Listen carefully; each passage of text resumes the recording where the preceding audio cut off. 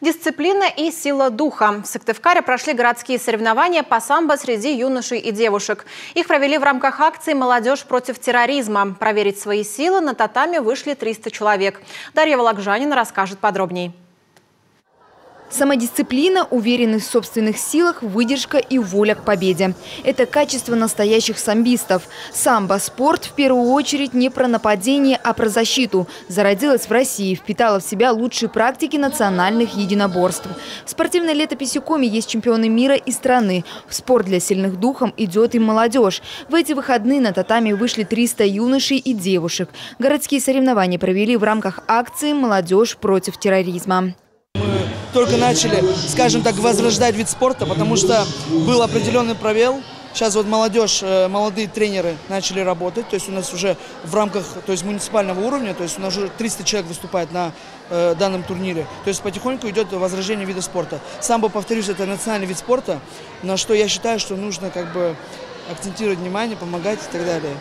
За схваткой внимательно наблюдают тренеры. Важно следить за всеми действиями своих подопечных, чтобы своевременно исправить недостатки и сформировать правильное сознание борца.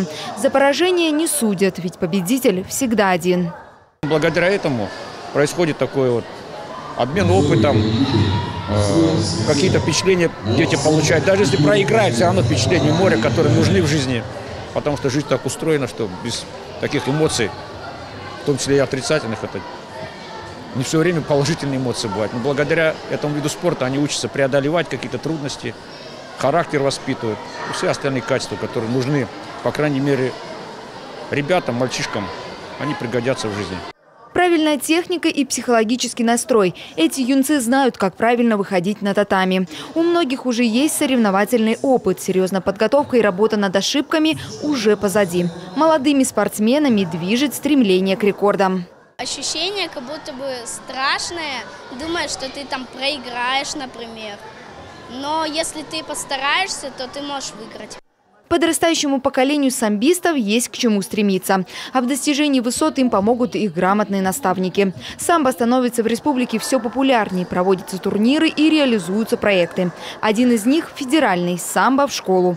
Он охватил уже 8 общеобразовательных организаций республики. Совсем скоро наших самбистов мы точно сможем увидеть на спортивном Олимпе. Дарья Вологжанина, Виктория Денисова, Олег Костромин, телеканал «Юрган».